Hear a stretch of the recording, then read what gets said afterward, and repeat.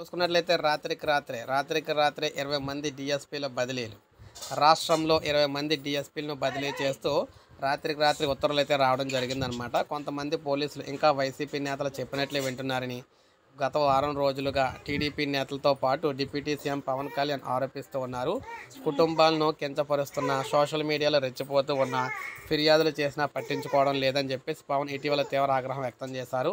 ఈ క్రమంలో సోషల్ మీడియాలో గీత దాటి మహిళలు కుటుంబ సభ్యులపై అరాచకంగా పోస్టులు పెట్టిన వారిపై ఫిర్యాదులు వచ్చినా పట్టించుకుని అధికారులపై బదిలీ వేడి పడినట్లుగా తెలుస్తుంది.